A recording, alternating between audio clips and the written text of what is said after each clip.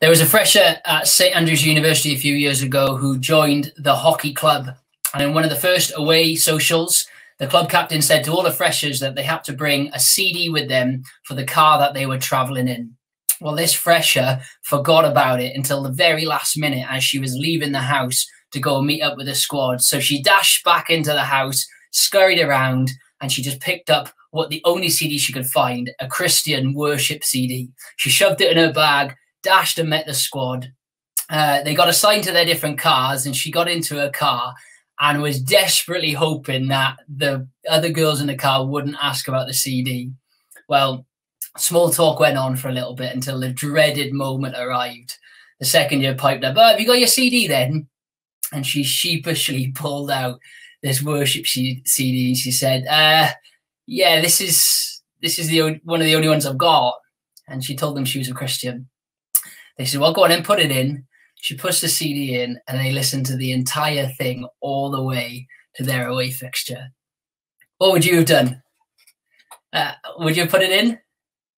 Maybe, maybe. Hey, I wonder if you've ever had one of those moments. Maybe not a CD, but a situation where you have had a choice to make whether you want to make your faith known or not, whether you want to let your light shine. That's what we're thinking about now in our final talk here at New Year Training. We've heard, haven't we, two nights ago, about the great light of Christ who dawned in the darkness of time to rescue us from our sins and to call us to himself. And then the challenge to go and follow him and make him known. And then last night, we thought about what it looks like then to live this life, this rescued life as saved sinners in order to be the salt of the earth, following Christ's way, which is different to the culture around us. The question is, is why does it matter? Does it really does it really make a difference if we run in the light in this way? Well, we've heard Matthew 5, verse 14 to 16 read. I love that for you to keep that up in front of you. And, and within these few verses, we've got Jesus' words that are packed full of challenge and encouragement to us. And the first thing I want you to see is right there in front of you now. Can you see it? You are the light of the world, Jesus says. It's not you might be. It's not you could be. It's not even that you will be. What does he say? No, you are the light of the world. Please know this this evening, right now. Uh, whether you've had a great Christmas or a rubbish Christmas, because of Christ, you are the light of the world. This is the truth of the gospel. See, Jesus was the great light that came. And so anyone who has repented of that old way of life, turned to him, thrown their allegiance on him, has now got Christ in them. His spirit is transforming you. You are called the light of the world. Do you know what you're doing right now? Whether you know it or not, whether you feel it or not, you're shining bright. You're beaming. And it's not through any effort of your own, any merit or contribution. It is surely through the grace and the mercy of Jesus and all that he achieved on the cross, and then his indwelling spirit inside your heart right now. I'm sure you've heard this analogy before, but it, it's just a great way of capturing this. Yeah, this is the reality for all of us. What's our life? It's full of sin. It's dark. It's black. We contribute nothing but our sin to God. We reject Him. We ignore Him. We rebel against Him. We're black. We're dirty. We're grubby. We're filthy. And then Jesus arrives, pure, clean, holy, spotless. And what does Jesus do on the cross in that moment? He takes our sin off of himself, doesn't he? He puts it upon off of us, he puts it on him. He dies in our place. He, he takes the right, fair, just punishment, the wrath of God for our sin. But here's the remarkable bit. Not only does he take that off us, what does he do? He gives us his righteousness. He clothes us with his status. When we trust Jesus, we are now declared pure, clean, spotless, holy, righteous. See, this is the reality for anyone trusting Jesus. This is a reality for you tonight. If you have repented, if you have trusted Christ, you are transformed. You are the light of the world, Jesus says, in this dark world. And so the question is how will you let your light shine? How are you going to run in light of it? See, because according to Jesus in these verses, following him is, is no private matter. Do you see that? Look at verses 14 and to 16 again this is so important for us, but more important as well is grasping the context. Greg mentioned this last night. Look at verse 14 and uh, 11 and 12 of me again. See what Jesus says. Blessed are you when people insult you, persecute you, falsely say all kinds of evil against you because of me. Rejoice and be glad because great is your reward in heaven. For in the same way they persecuted the prophets who were before you. And then he goes on to say, You are the salt, you are the light. See, the prophets were battered for speaking the word of God. They were, they were God's mouthpiece, illuminating the word of God in the darkness of the world that was rejecting God. And what's Jesus saying? He said, like they didn't stop living and speaking for Jesus, we shouldn't either. And actually, more than that, expect insult, Inspect, expect lies, expect anything to come your way, but don't let it stop you. Why? Look at it. Because the reward in store is worth losing everything for. Look at verse 12. Rejoice and be glad, because great is your reward in heaven. Just think with me for a moment. When he attempted to shrink back or hide your faith. If you're a sportswoman or a, a sportsman in any sports club, moments come all the time like this, and I feel it all the time. Why are we tempted? Well, I think for many, not all, but for many Christians, it's a combination of fear and greed. Fear that someone might say something nasty or, or mean about us or even to us. Fear that, I don't know, that we might be excluded from a friendship group, uh, ignored by a coach, pushed out by the captain. Fear that someone might just think we're weird, deluded, strange. These flash by our minds all the time, don't they? These fears, and and particularly when you're in the minority, they can they can silence you. But these fears are actually also mixed with greed. Let me explain. See, when you desperately uh, are worried and fearful of being excluded, what you're also doing in the same moment is that you're craving to be accepted. You're longing to be included. Like the reality is, no one enjoys being persecuted for their faith. Of course they don't. It's an unpleasant, uncomfortable experience.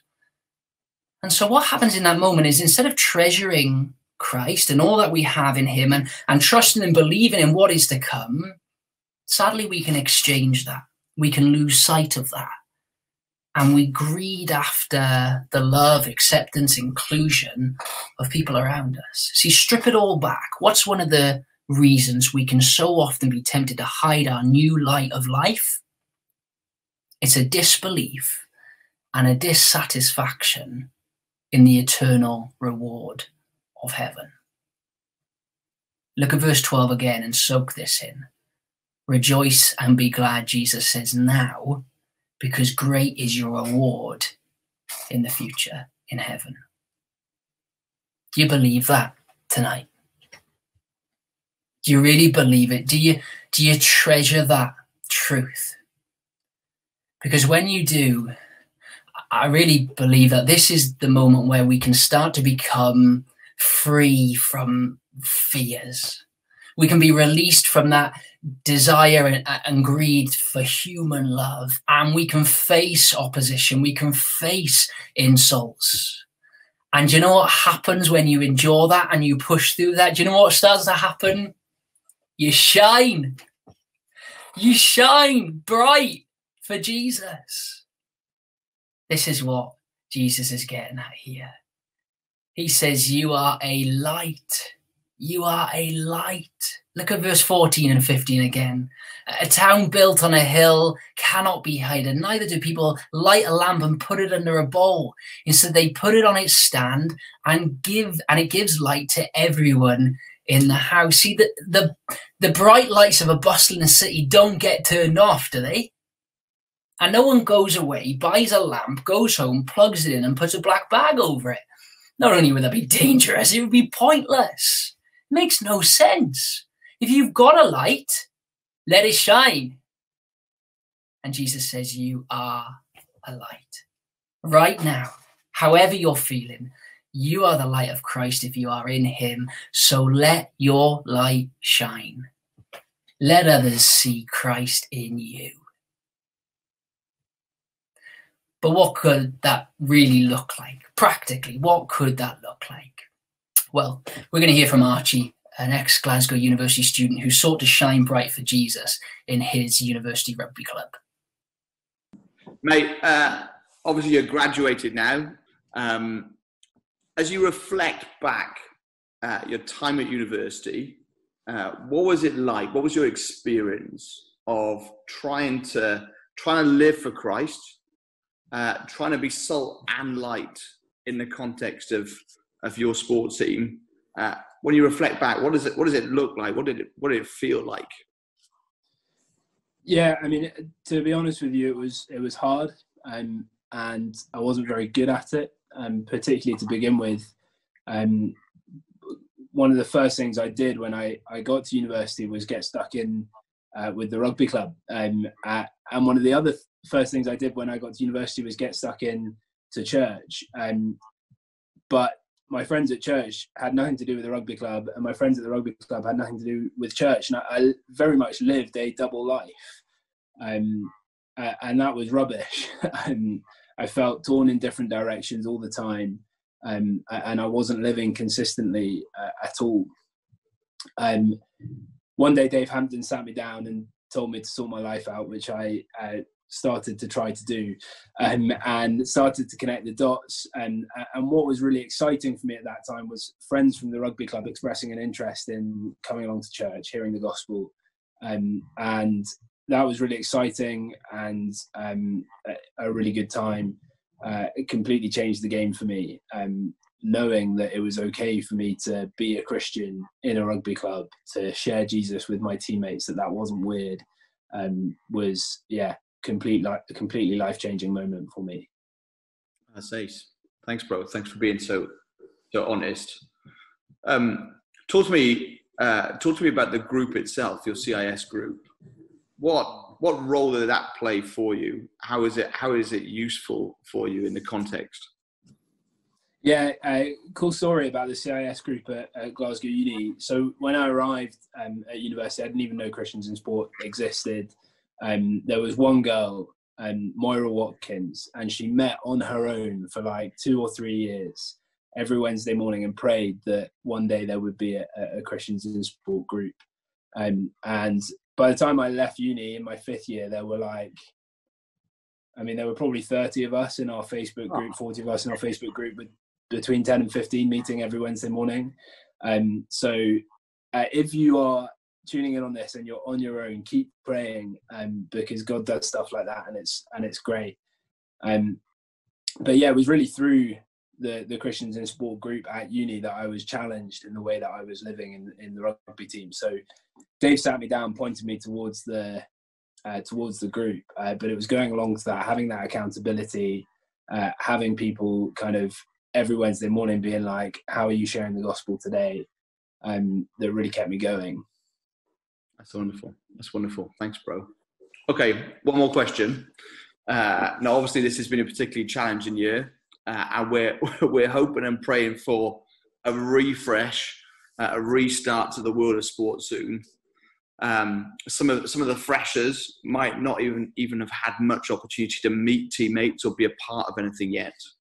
Mm. you're now seven, eight years on from Freshers Week, from your Freshers year if if you had the opportunity to drop a message back to your old fresher self, mm. uh, or even just to your old student self, uh, to give give them an encouragement, a challenge to uh, to keep on walking, running, playing in the light for Christ, uh, what what would you say? What piece of advice would you give them? Yeah, I think uh, just be real, be honest, nail your colours to the mast in your sports team uh, early. Tell them that you're a Christian as early as you can, um, but don't let that uh, kind of be a pressure to be a, a perfect human being. Um, Sam Allberry, Christian writer, and brilliant. Read his books if you haven't haven't read them. Um, he said something like this: uh, "We don't need to be perfect to make Jesus look good. Um, we need to be honest to help people see that Jesus is perfect. Um, I just think that's um, brilliant, um, and I wish I had known that at uni, um, because the pressure to be perfect and just never measuring up to that um, crippled me at, at times. And yeah, we don't need to be perfect to share the gospel with our teammates. We just need to be honest with them. Oh, bro, thank you, man. That's ace. Hey, thanks for joining us, and uh, yeah. thanks for being an encouragement. See you soon. See you soon. So, what does it look like for you? What could Matthew five sixteen mean to you for your life this term, this year, uh, for the rest of your life? Well, let's read it again. Verse 16 In the same way, let your light shine before others, that you may see your good deeds and glorify your Father in heaven. Jesus is very clear here. It's what we need sometimes as sports people, isn't it? What are we to do? We're to let our light shine before others. How are we to do it? Through good deeds. And why are we to do it? To glorify our Father in heaven. Let's take those three things briefly now. What are we to do? Well, we're to let our light shine before others. We thought about this a little bit already. And so here's the point I want you to see. Jesus is pretty explicit here, doesn't he? He expects his followers to be before others. We're to be amongst people, amongst people who don't know Jesus and don't believe in him. And so the simple question is, which I ask myself first and foremost, as well as you, is are you? I know right now COVID is is just ruining so much of our community and social life. It's very very difficult. So probably you haven't uh, been able to in so many different ways. But let's just think about this more broadly, just for a moment. What could this look like to be before others? The reality for many Christians, and again myself included, is hanging out with our Christian friends can sometimes often be nicer it's certainly safer and we enjoy it. And because of those reasons we talked about, the fears uh, we often associate with coming with people who don't believe. But Jesus does not call us to isolate from our sports clubs. Rather, what does he call us to do? He calls us to illuminate our sports clubs for the glory of God, even if we do get insulted or persecuted or people say stuff about us.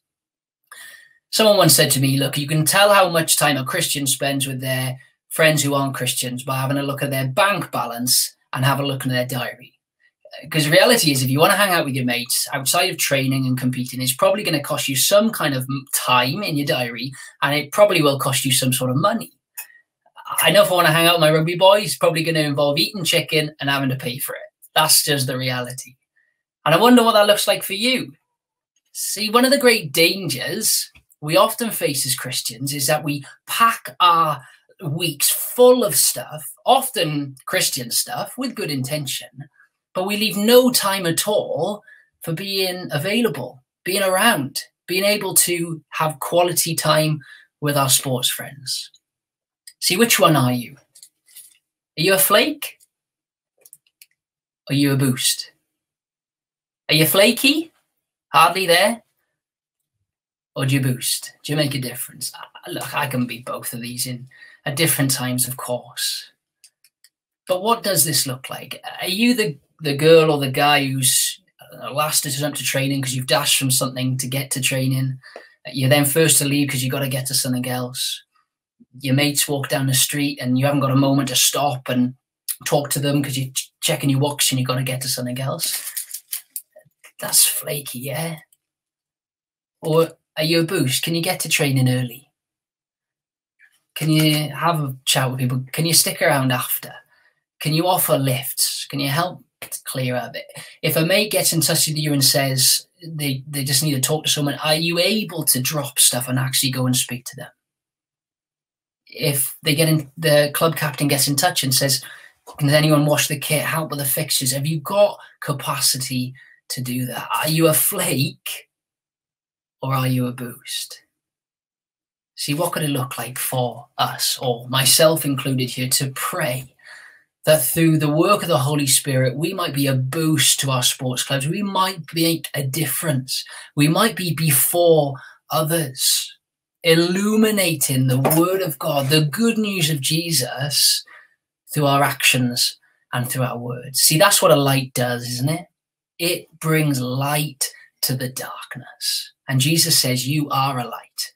So go on, let your light shine before others. That's what we are to do. But how are we to go about it then?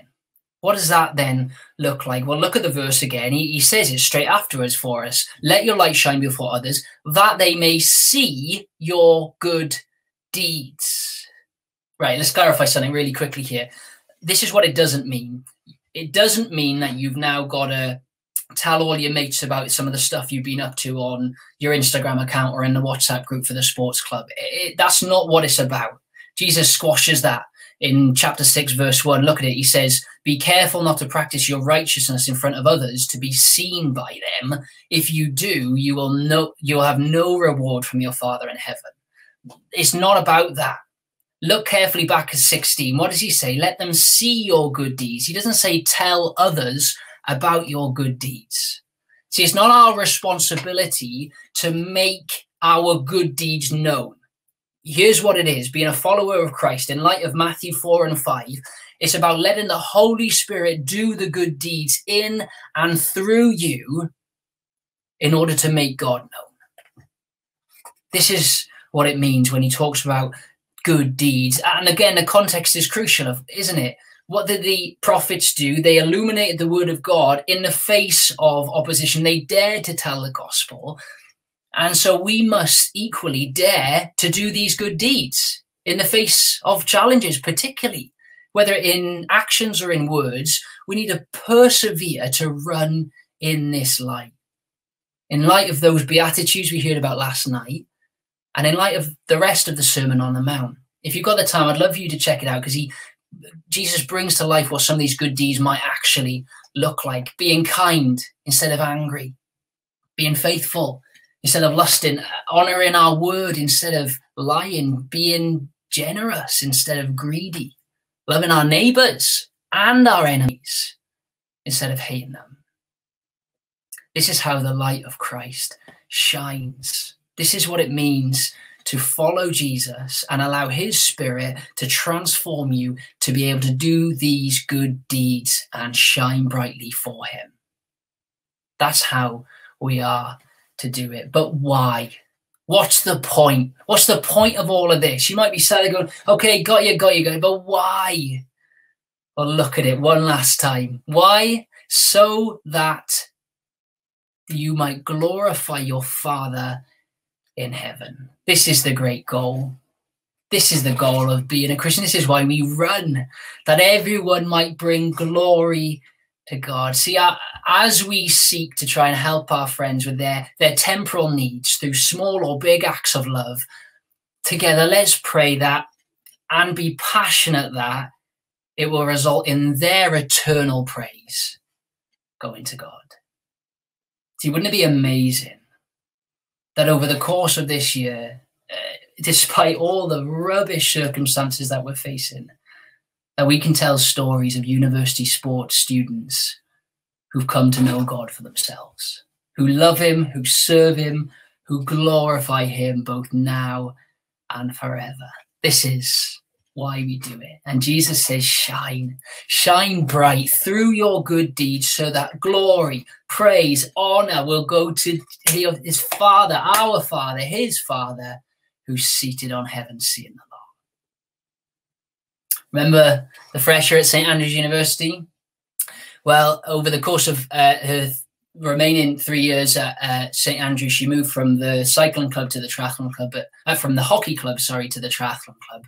But she stayed in touch with quite a lot of the hockey girls, and from time to time they invited her along to the socials, and uh, she quite liked going. It was in the same pub right out the back where they could play their own music. So she went along to one of the socials this one time in her final year, in her fourth year. She was chatting to some of the girls that she knew, and the music was on in the background. And then suddenly, one of the other girls who she didn't know gets up and says, "Girls, quiet, quiet! It's that song again."